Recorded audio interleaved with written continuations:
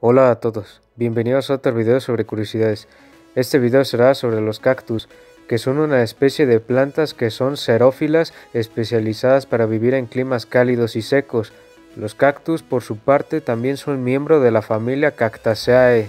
Sin más que decir, comencemos.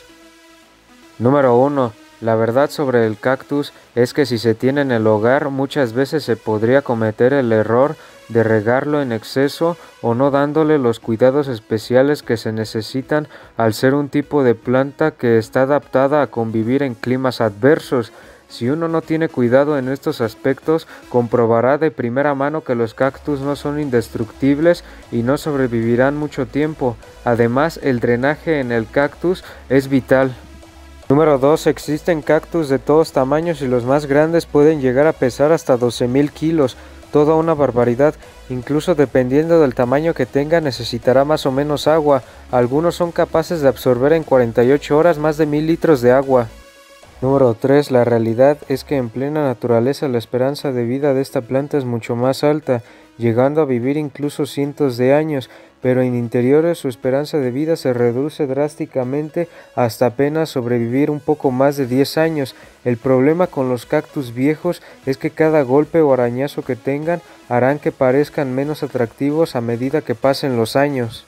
Número 4. Las raíces de esta planta sorprenderían a cualquiera ya que son largas, muy largas, además de que sus raíces no tienden a ir hacia abajo, sino que las raíces de los cactus se van extendiendo en horizontal cientos de metros.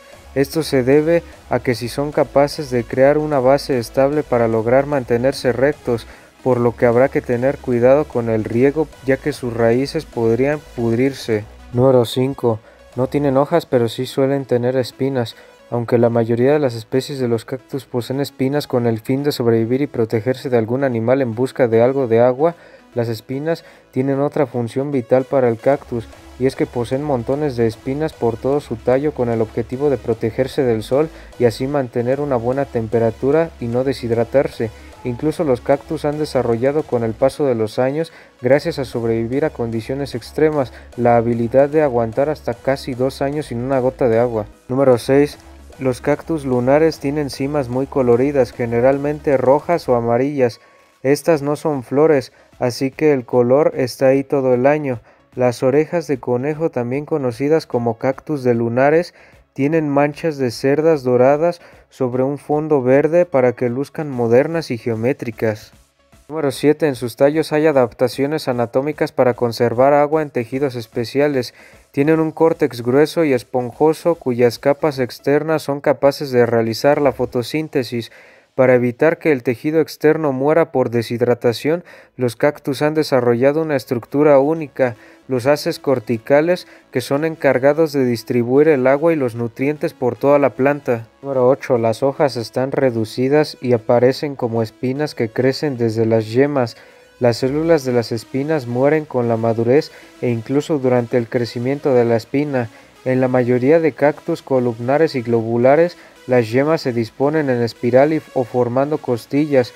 Esto le sirve al cactus para retener la mayor cantidad de agua de las precipitaciones y absorberla a través de la epidermis. Número 9. El fruto del cactus normalmente es seco. Número 10. La gran mayoría de los cactus se hallan en América y en los desiertos americanos. Aunque hay algunas variedades en otros desiertos del mundo, se cree que la aparición de estas plantas en América data de algunos cuantos siglos atrás solamente y se estima que pudieron llegar al continente americano con el viento o en los estómagos de aves migratorias en forma de semillas. Número 11. El tallo del cactus es la estructura principal de la planta. Se trata básicamente de su cuerpo, el cual es grueso y por lo general de color verde, ya que son los encargados de hacer la fotosíntesis debido a la escasez de hojas en el resto de la planta. Y número 12. Algunas especies de cactus han sido introducidas en otros continentes por el hombre y se han adaptado al clima sin problema. Y bueno, espero que les haya gustado el video. No olvides suscribirte, compartir este video darle manita arriba para que suba más videos y les mando un saludo. Nos vemos.